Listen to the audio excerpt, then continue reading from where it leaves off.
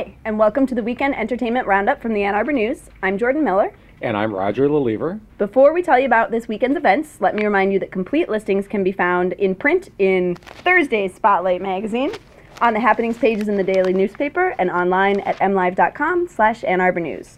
So, Roger, Folk Festival. Folk Festival, it's what's going on this weekend. It's probably the big premier event for the uh, folk acoustic uh, and really and more community.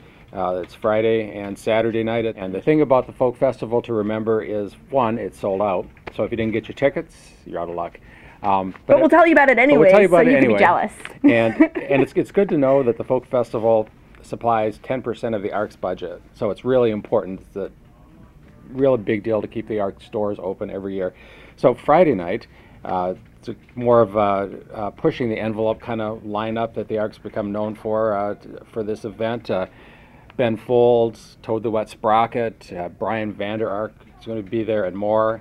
And on Saturday, that's the more traditional night, we have Emmylou Harris, oh, Shawn cool. Colvin, Patty Griffin, uh, Glenn Phillips from Toad the Wet Sprocket doing a solo show, Jill Jack. Uh, it's going to be a great time. I'll be there.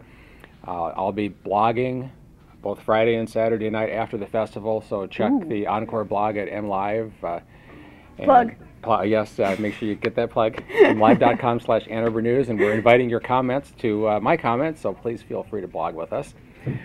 What else do we have? Well, if you're not into the folk festival, which kind of not. How could you not? Uh, yeah. How could you not? Um, Friday night there is a party at the Black Elks Lodge. These have been going on for a while. I love them. I always look forward to them. This one's going to be super awesome because my favorite local DJ, uh, Selector Josh D, is going to be there. Um, he's just he's the best. And then you've also got local legend Dykehouse. Yeah. Uh, my friend Noah Carant. It's going to be really really cool. Uh, it's at the Black Elks Lodge over on Sunset.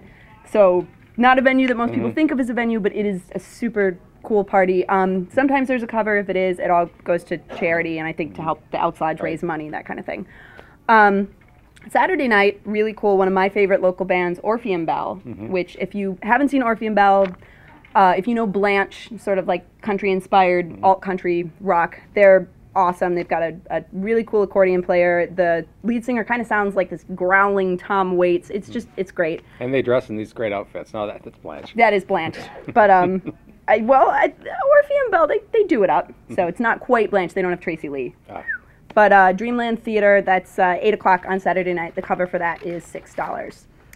Um, let's talk about movies. All right. We got some good ones. Rambo. what decade is this anyway? I know. I shouldn't. I should just shut my mouth on the movies because I just hate all of them. Um, but he, he plays a uh, disoriented Vietnam vet. And of course, it's Sylvester Stallone. And, and what more do you need to know about that? I, I am really more interested in. Uh, uh, the, there will be blood. Yes, it's yeah. gotten eight Academy Award nominations, and uh, it's got Daniel Day Lewis. It's going to be a great movie. Yeah, and I think actually that one I'm I'm going to make it on opening weekend to see mm-hmm. a movie because I'm just so behind. It's about the early days of the oil industry. It's gonna be it's gonna be awesome. Um, also opening this weekend, Untraceable. I know last week I talked about a waste of uh, Diane Keaton. This is a waste of Diane Lane. So mm-hmm. there you go. If you saw that movie, The Net, probably you saw it on television mm-hmm. when you were sick at some point when it ran on reruns with Sandra Bullock. It basically looks like the same movie, just more updated.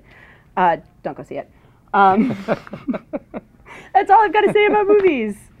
Thank you. All right.